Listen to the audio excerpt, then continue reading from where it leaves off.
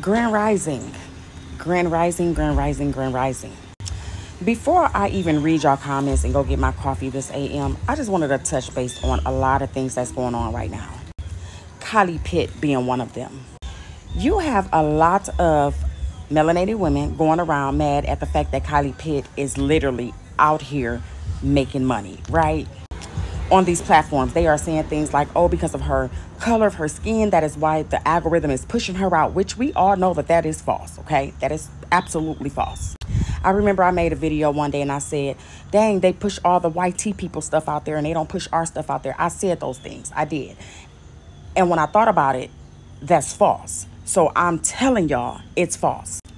Now, on the other hand, you have women out there and men sitting there saying, oh, she's showing us how to be housewives, right? You know, she could be a good housewife, you know, and that's the problem. That, you know, today's housewives, they're not out here, women are not being housewives. So that is one of the reasons why people are jealous or mad.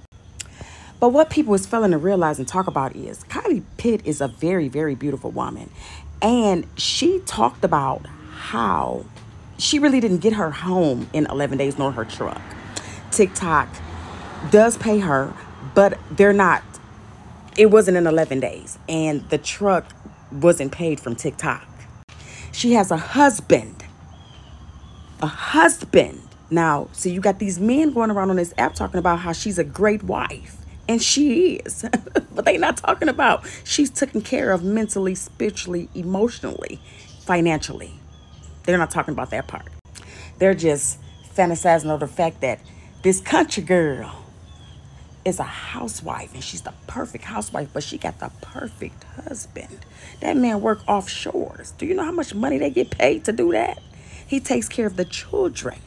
He takes care of the finances. He takes care of the spiritual. That's why she's happy and perky all the time. He takes care of her. Now, we really don't know what goes on behind closed doors in their household, but what I'm saying is this. She can be that wife because she got that husband. See, a lot of y'all men out here want 50-50. Pay the bills 50-50. But if you go out there and get a job like Kylie Pitts, see, y'all ain't talking about her husband. Go get a job like Kylie Pitts so we can sit down and be housewives. We ain't got no housewives because we ain't got no Kylie Pitt husband. We got to hustle like the man do. We got to think like the man do. That's the problem. But y'all don't want to talk about that subject, though.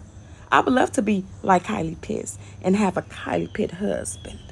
Because Kylie Pitt husband taking care of everything.